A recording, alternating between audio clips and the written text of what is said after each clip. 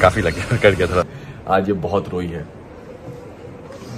आज ये बहुत रोई है। और बड़ा हो रहा है तो आपने देखा होगा वीडियोस में, वो कार पकड़ के खड़े होने की कोशिश करता है, सोफा पकड़ के खड़े होने की कोशिश करता है, चीज़ें खड़े होने की कोशिश करता है। तो वही कर रहा था और उसका हाथ स्लिप हो गया और वो गिर गया तो उसके यहाँ पे थोड़ा सा लग गया है। और हल्की सी स्वेलिंग है और हल्का सा कट है यहाँ पे जैसे बच्चों को यूजुअली हो जाता है वो। तो उसको देख के उससे ज़्यादा तो ये रोई है, वो तो चुप हो गया था, ये बहुत ज़्यादा रो रही थी। क्यों वो जो यहाँ पे थोड़ा सा चोट लग गया है होता है अभी क्यों? बड़ा हो रहा है? और यहाँ वहाँ हाँ? जो खड़े चलो। अभी ठीक है वो।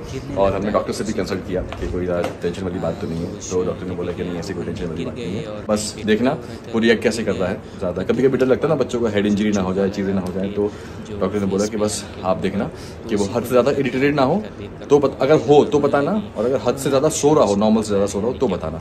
बट अभी तक ऐसा कुछ नहीं वो बढ़िया है मस्त है खेल रहा है मस्त। फटाक से हम निकलते हैं चलते हैं। और रेहान को कुछ दिलाते हैं और आज मम्मी भी जा रही हैं, अम्मी भी जा रही हैं, रिजा भी है बस पापा नहीं जा रहे हैं, क्योंकि पापा मॉल में ज़्यादा चल नहीं पाते। हम इसलिए उनको जब भी कहीं लाइक होटल जाना हो। Hello everyone welcome back to my channel यहाँ पर आप लोग देख सकते हो, बहुत दिन बाद शोएब ने अपने चैनल पे ब्लॉग अपलोड कर दी है। और रिहान के बर्थडे के